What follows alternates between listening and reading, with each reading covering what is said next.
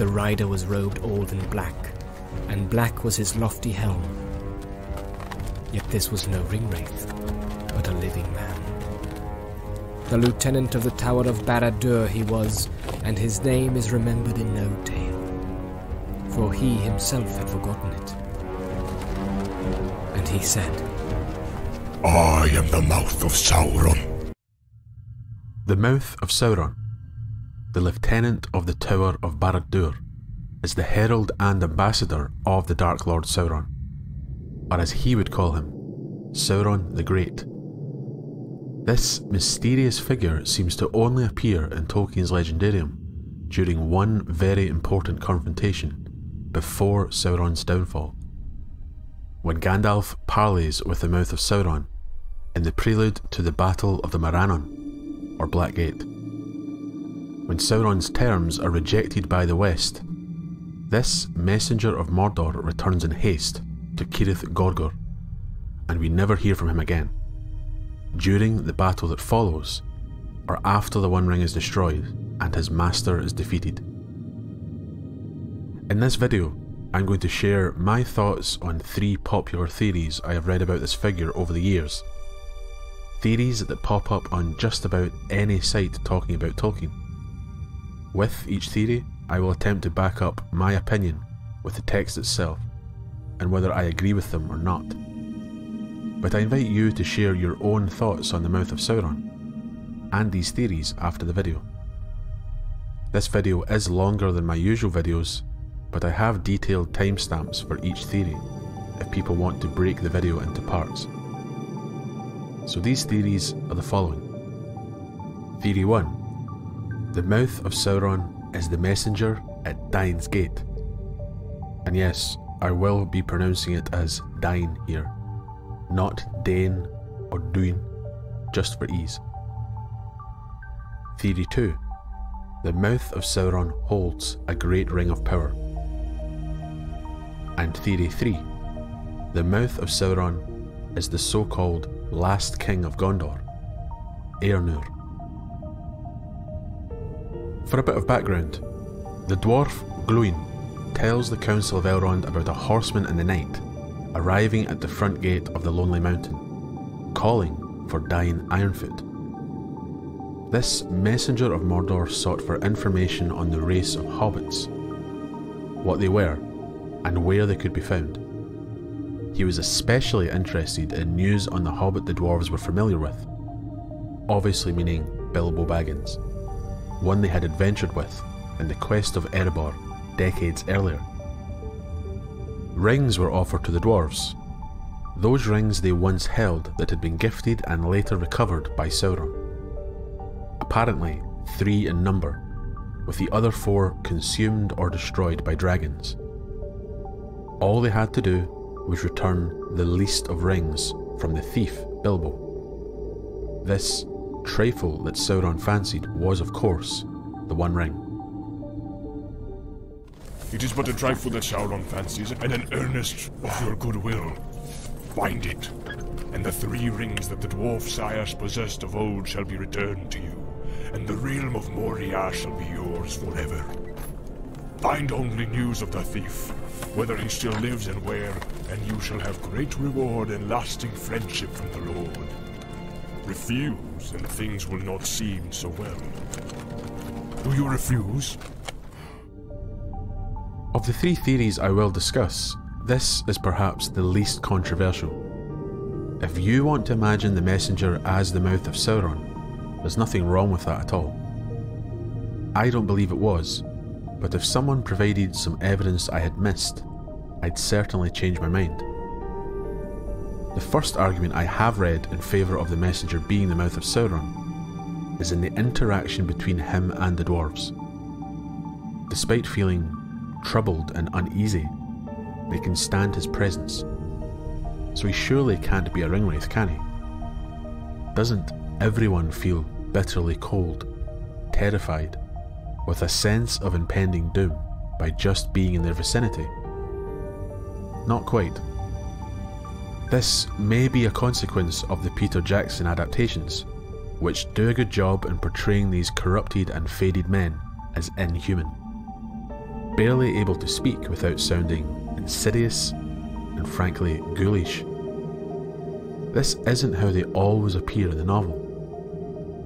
Yes, they are certainly creepy, and Unfinished Tales does tell us that the terror that went with them was so great, even if invisible and unclad, that their presence could be felt. It was a terror to all living things that passed near. Even when dealing with people, they probably try their hardest to sound normal, failing to come across as anything but sinister. Yet we have several moments when they do speak with regular people, and none of them flee when they are near. There's been a strange customer asking for Mr. Baggins of Bag End, and he's only just gone.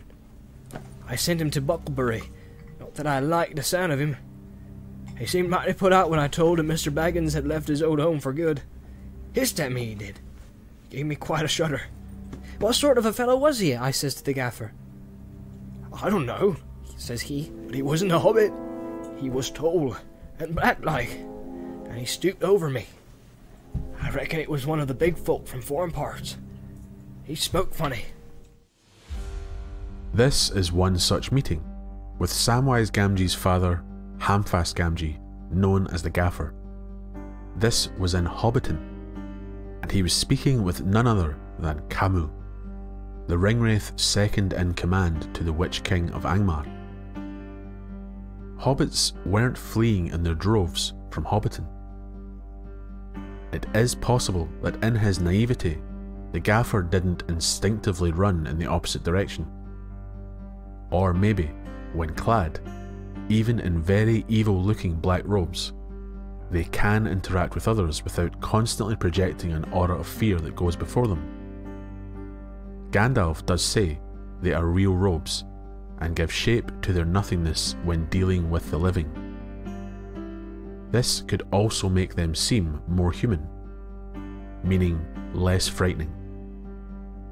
Later, the hobbit Merry is attacked when in Bree, certainly suffering under the effects of being in the presence of the Nazgul. But again, men in Bree have been dealing directly with them Bill Ferny being one. Once again, the ringwraiths seem to be able to speak without constantly hissing. They can communicate and deal with other people. In my early readings of The Lord of the Rings, I assumed the messenger was one of the ringwraiths. This was because, when the Council of Elrond takes place, the ringwraiths are the main antagonists we've been dealing with, so far those figures representing the distant Dark Lord. The fact Glóin is speaking of a messenger in such a distant land just made it seem like the Black Riders were an even greater threat than we imagined. In the chapter where everything becomes more important and grander in scale, the small adventure of the hobbits in reaching Rivendell is but one story in the journey of all those who were eventually drawn to the home of Elrond. We have no idea who the Mouth of Sauron is until the end of Book 5, and the nature of the messenger pushed me towards the Ringwraiths, that inability to hide the evil behind false promises. At this we were greatly troubled, and we gave no answer. And then his fell voice was lowered, and he would have sweetened it if he could. At that his breath came like a hiss of snakes, and all that stood by shuddered. To me, this was how a ringwraith would act. Before discussing an apparent friendship with Sauron, we are told that the messenger would sweeten his voice if he could. I imagine an uncomfortable moment when this evil figure crudely attempts to speak these words of friendship to the dwarves making everyone feel uneasy and threatened in the process. This is a messenger, not an emissary, and I think there's a difference, especially in how this message is given to the dwarves. Aggressively. Couple this with the threatening hiss reaction after asking if the dwarves refuse this generous offer of Sauron. The ringwraiths do hiss in other confrontations, but not always the messenger unable to shield his will and malice fully from the dwarves, Still, I too went through a period of thinking this figure was the mouth of Sauron. My reason is one that seems to be shared by others the use of Sauron's name. The only servant confirmed to have used his master's name in The Lord of the Rings is the mouth of Sauron. And this messenger, of course, though spoken through the words of Glóin.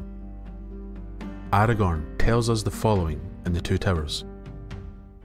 X is for Sauron, said Gimli. That is easy to read. Nay, said Legolas.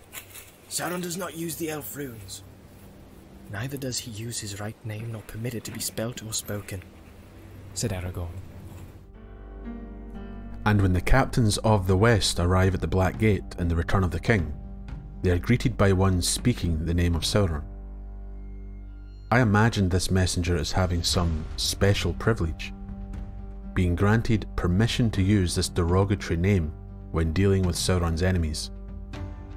Maybe even delegates from foreign lands who would only know Sauron by that name. A representative of Sauron's own special kind of diplomacy. This figure could then openly engage with the free folk without them cowering in fear at his presence. Now, this apparent inconsistency resulting from Aragorn's words is something I'd really like to cover in its own video. But I think there are plenty of reasons to explain it. And if one high ranking servant of Sauron is able to use the name, why not others? Why does this figure have to be the same figure who uses it later in the story? Perhaps Aragorn meant that orcs and other expendable slaves of Sauron were not permitted to use it. And that seems the case, since orcs refer to Sauron by other names. The Great Eye, or even Lugbúrz, referring to his tower. Maybe no one spoke the name and it was translated for us. Much like how Melkor ends up being the only one calling himself by that name after he has been given the name Morgoth.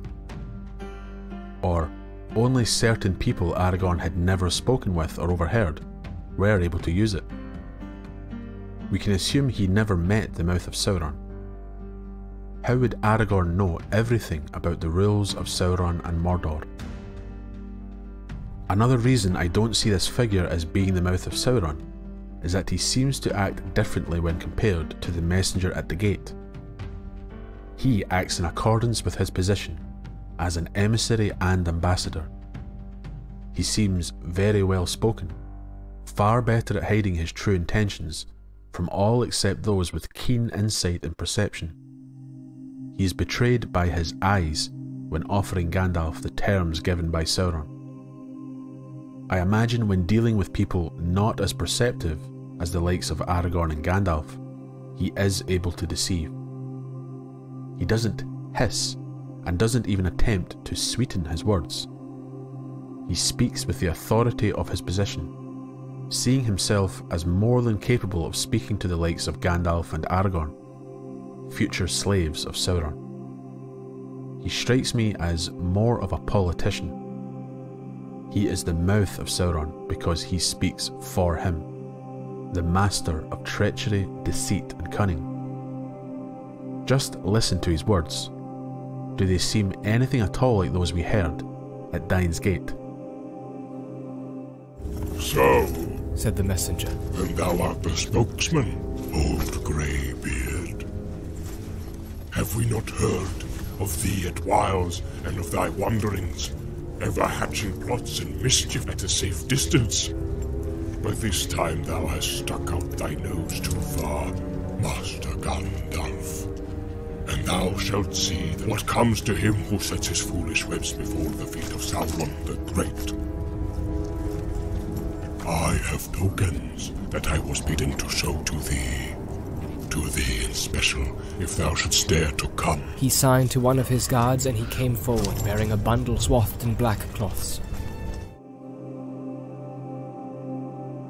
What about the timeline? We are told that the ordinary spies and emissaries of Sauron could bring him no news, due to the vigilance of the Dunedain and the treachery of Saruman. Gollum, who had been released from Mordor, was found by Aragorn in the Dead Marshes at the beginning of February in the year 3017. The Ringwraiths would already be tasked with finding information. We hear much about them in September and early October the following year, after they have failed to find the Shire. They were sent to Isengard, passing the fords of Isen. They met Grima Wormtongue, who told them of the Shire's location. They reached Sarn Ford, overcoming the rangers blocking their way. A ringwraith spoke with Farmer Maggot. Two came to the Prancing Pony while the hobbits were journeying in the Old Forest. And Gandalf encountered ringwraiths on Weathertop. But what were they doing before all of this?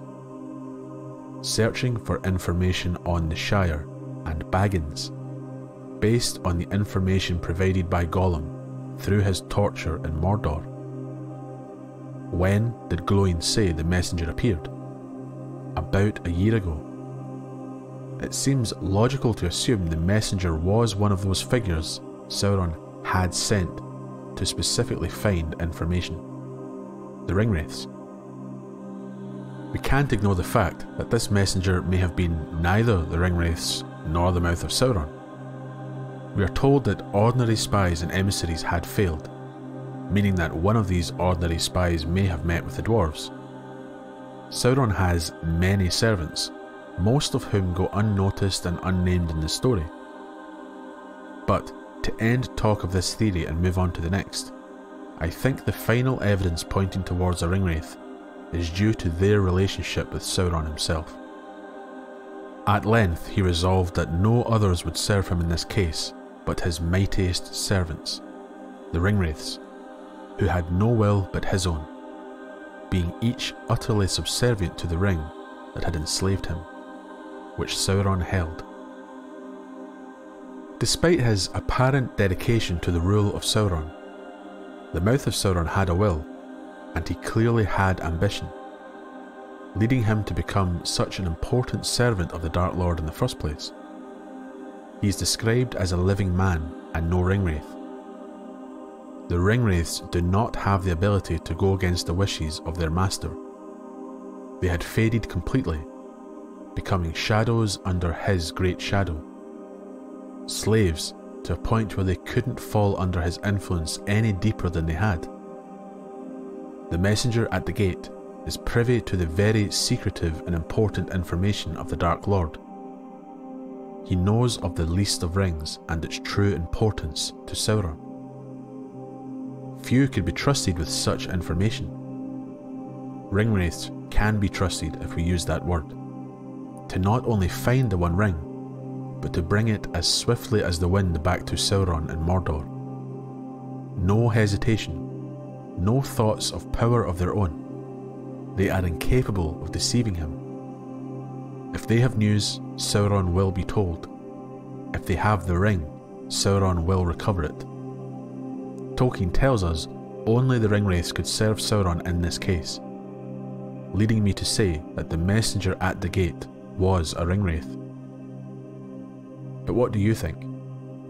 The mouth himself?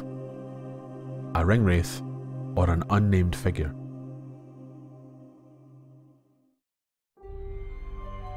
Did the mouth of Sauron hold a great ring of power? This theory even gets messy for those who believe it. It does tie in with the third theory, which I will cover on its own.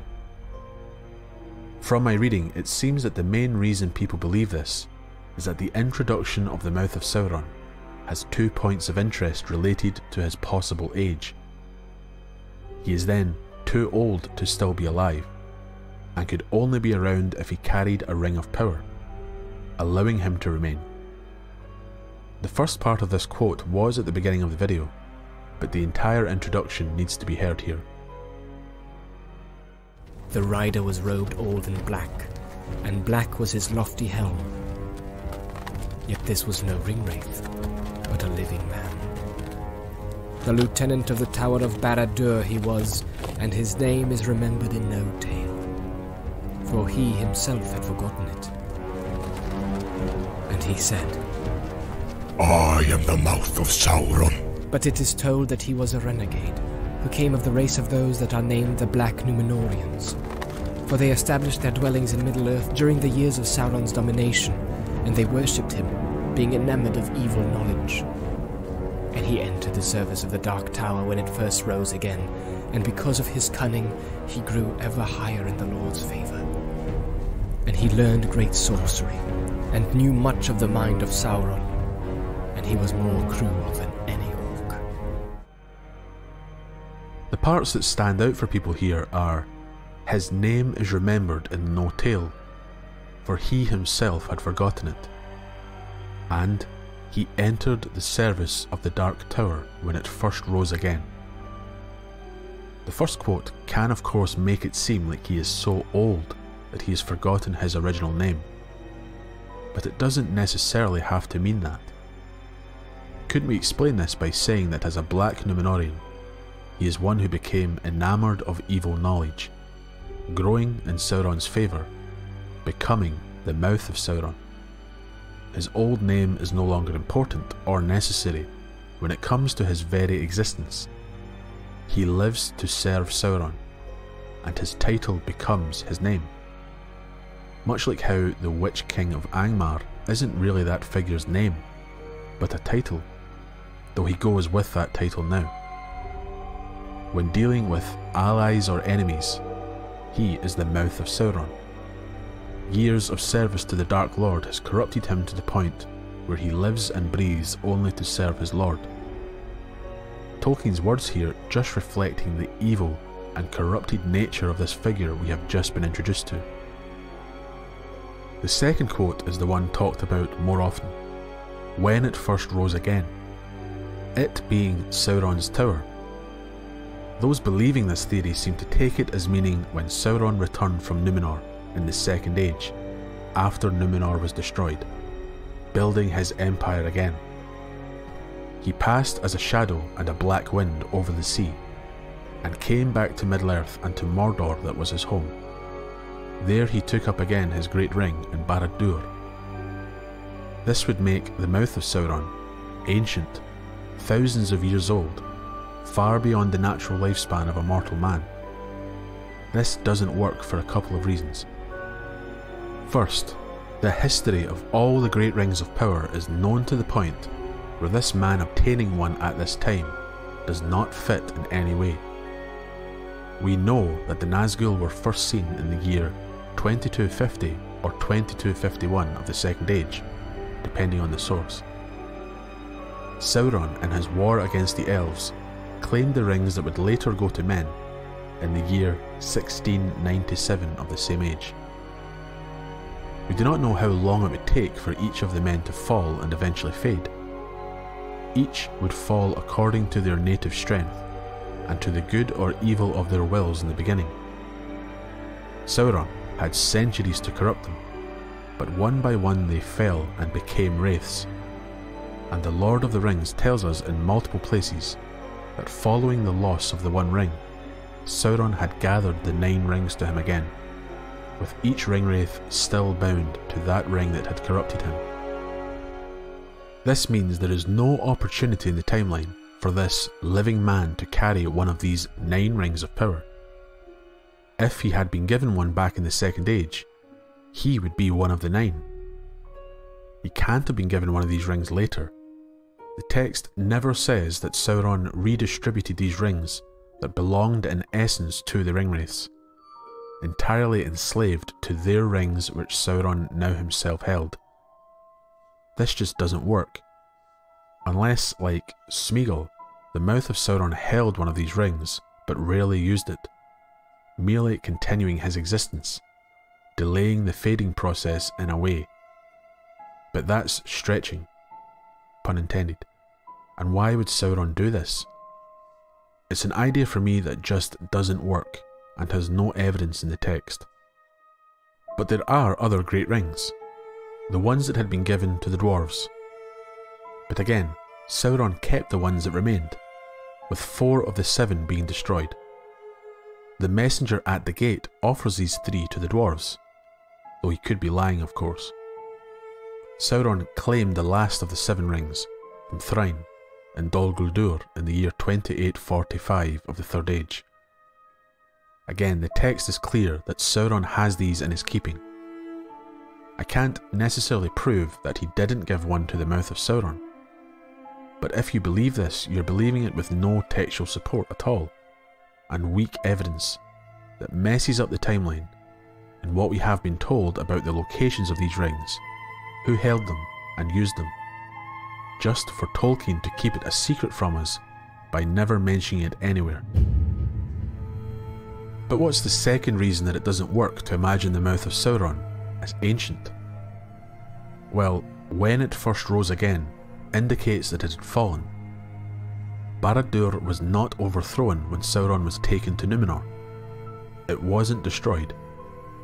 He left his tower in the year 3262 of the Second Age, and was taken across the sea, and returned in the year 3319. However, it was destroyed by the Last Alliance in the year 3441. The fact it had been built through the power of the One Ring meant its foundations remained. Rose seems to mean built again physically, and not Sauron returning and building his empire again. When he returned in the Third Age, he spent much of his time in Mirkwood in Dol Guldur, and Mordor was made ready by the Ringwraiths for his eventual return to that land. He left Dol Guldur in the year 2941 of the Third Age, and was said to return to Mordor a year later. Construction began once again on his Dark Tower, Barad-dûr, in the year 2951. The first time it had been rebuilt.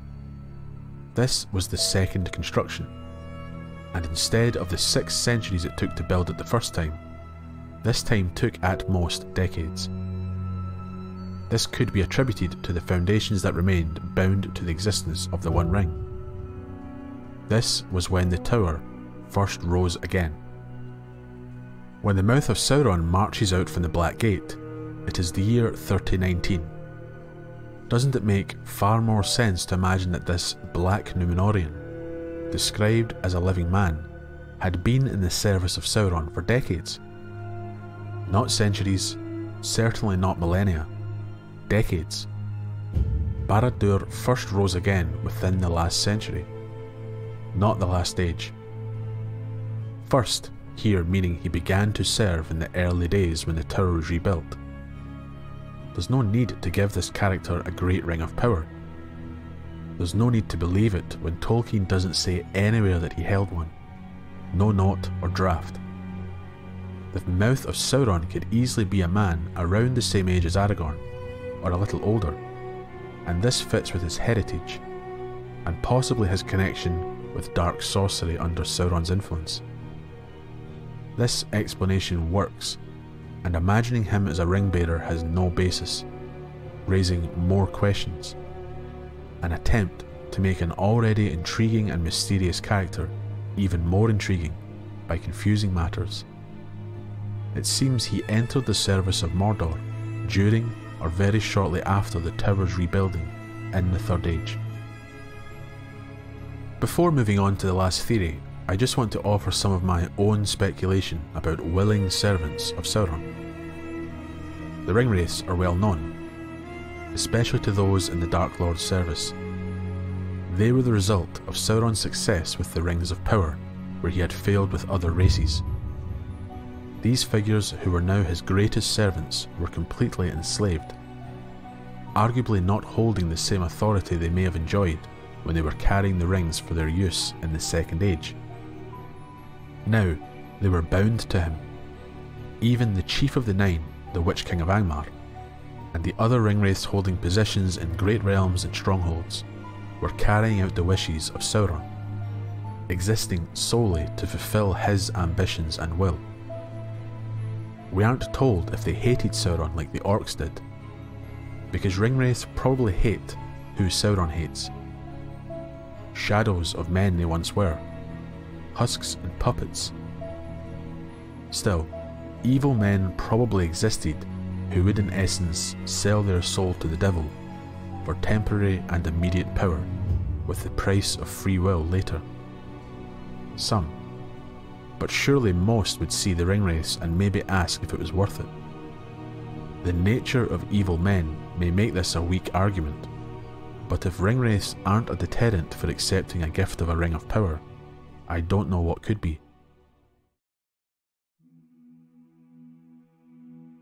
This last theory is one I think is very weak, and the evidence to back it up is lacking to say the least. But I have seen it on several sites and would like to discuss it.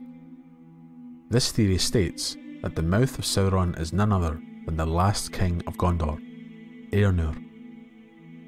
I discussed the confrontation between Eärnur and the Witch King of Angmar earlier in the Third Age in my video of the Witch King Prophecy and Fate, which is relevant here. The Witch King met Eärnur on the battlefield that day, when the latter was not a king, yet. But Eärnur did receive the crown in the year 2043 of the Third Age, and the Lord of Minas Morgul challenged him. The king was only restrained by the steward Mardil, keeping his wrath at bay, but only for seven years until the Witch King once again challenged Eärnur. Eärnur had held the crown only seven years when the Lord of Morgul repeated his challenge, taunting the king that to the faint heart of his youth he had now added the weakness of age.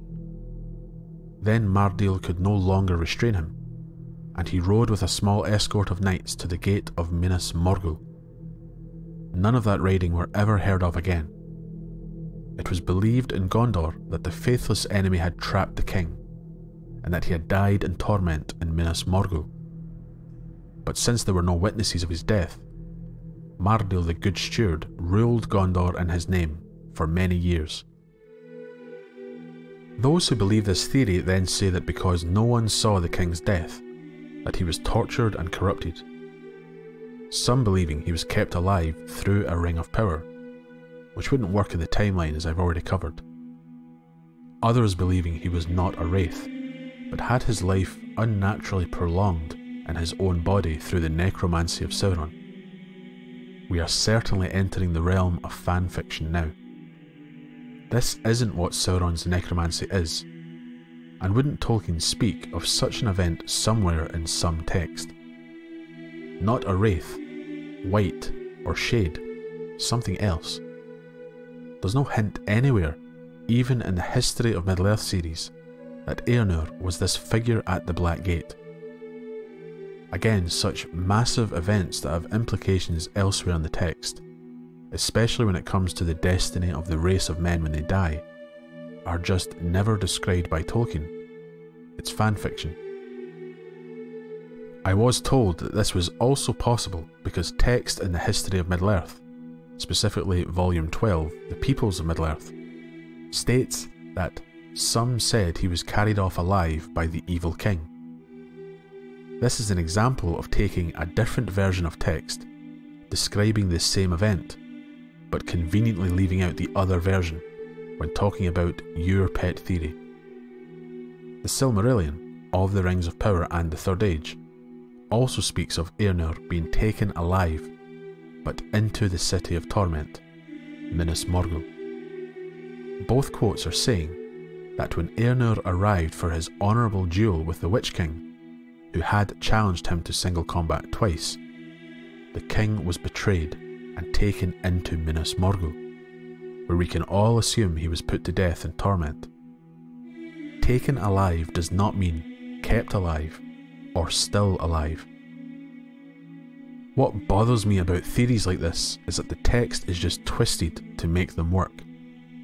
One user stated that Sauron kept this a secret and lied about the mouth of Sauron being a black Numenorean to add to his vast tapestry of deceit as the Prince of Lies.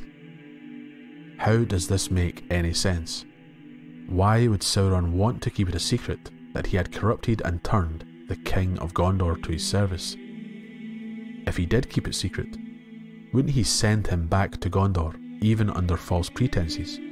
and have that ancient kingdom fall under his banner, a vassal state. Maybe he wanted the lack of an heir to work against Gondor, having them hope the king would return until the stewards were stuck with ruling. But again, my alternative seems like a much smarter plan. This line of reasoning to make a theory work just has me wondering why it is believed in the first place. When there are such holes in the logic, just abandon the idea, as what really happened in the text makes far more sense. The last so called evidence backing up this idea is the unreliable narrator trope, or Tolkien's writing itself. Often he will use the phrases it is told, it was believed, or it is said. People supporting this theory and others can use this as an excuse to say that what is written is not really what happened, or is open to debate. In this case, it is not a fact that Eärnur died in Minas Morgul. Why? Because Tolkien says it was believed. Why isn't the mouth of Sauron a black Numenorean? Because Tolkien says it is told. This leaves room for me to make up what I want, doesn't it? Well, not really. On screen, you will see quite a few sources popping up. Each of these relates to events that are apparently not confirmed to have happened, if we follow this logic. It is said is no different from it is told. So why do people accept these and reject others? I must imagine it's just about picking and choosing what you want to believe to make your own theory work. Which is fine if that's how you want to read Tolkien. Everyone can read Tolkien in any way they wish. I just think things get a bit silly if you do this and start claiming this is what Tolkien intended. People don't debate any of this. Did Melkor attempt to draw Ossë to his service?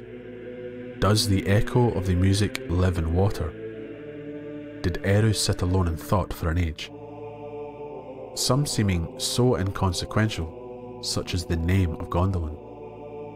This is the nature of Tolkien's writing and his legendarium. In tales of myth and legend, there are beliefs, stories, and tales within History can be written down and can be shared through music and speech. We are being told of what happened by those in the world itself, with many figures recounting events second hand and third hand or beyond. Again, I can't provide text from Tolkien stating for a fact that the mouth of Sauron is not Eärnur, but I also can't provide text saying he isn't Barliman Butterbur in a mask. I've provided text saying Eärnur was killed, text saying the mouth of Sauron was a living man of black Numenorean stock. You are free to enjoy this theory and others, but I personally think the way the story is written is far stronger, and I'd rather just believe what it states and discuss that over personal headcanon, shared in lackluster David Day style fashion with the world. To finish off this video, I want to briefly share my own thoughts about the mouth as a figure, and why I think theories about rings of power or enslaved kings do a disservice to what this man represents in the text. Unlike ringwraiths, or men born into servitude, or those threatened or pressured, the mouth of Sauron is a very willing servant of the Dark Lord. He didn't require the slow process of Sauron bending the will of this man to his service, or open lies and deceit. The mouth of Sauron knew what he was doing, and knew that with victory for Sauron he would obtain more power than he ever held. He was fulfilling the will of Sauron, following the tradition of those he came from, seeking evil knowledge and essentially worshipping the Dark Lord. All lands east of Anduin shall be Sauron's forever. Solely. West of the Anduin, as far as the Misty Mountains and the Gap of Rohan, shall be tributary to Mordor. And men there shall bear no weapons, but shall have leave to govern their own affairs. But they shall help to rebuild Isengard, which they have wantonly destroyed. And that shall be Sauron's, and there his lieutenant shall dwell. Not Saruman, but one more worthy of trust. Looking in the messenger's eyes, they read his thought. He was to be that lieutenant, and gather all that remained of the West under his sway. He would be their tyrant, and they his slaves. He represents a more terrifying aspect of the evil possibilities of men in Middle-earth, over beings like the Ringwraiths, who in a strange way are still pitiable despite being so evil. The possibility of corruption without the need for an evil artifact like a Ring of Power, and without the need to enslave an unwilling king into your service. To assign this identity to the mouth of Sauron or a Ring of Power is to diminish him. One who wishes to cooperate, serve, worship and admire Sauron, growing in power and sorcery. He fell without having to be forced to fall. He is arguably far more wicked than any of the Ringwraiths, save the Witch King perhaps. This is one reason why these fan theories fall short. They pale in comparison to what we can learn of the mouth of Sauron by just what we are told in the text, without the need to embellish his role in the legendarium further, without the need to tie every single thing in Middle-earth together, removing all mystery and intrigue. Can't the mouth of Sauron just be an evil servant of Sauron, separate from rings and kings, evil at heart?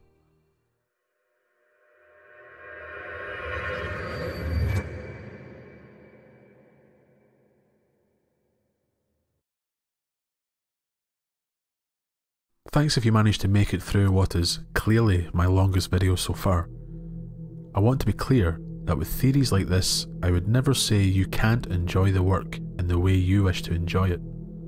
These are just my own thoughts about these theories, and many fan theories in general. If you have any other theories of your own, or some you have read over the years, share them, and they may just make it into a future video. Thanks again, and if you enjoyed the video and haven't subscribed, I hope you will consider doing just that.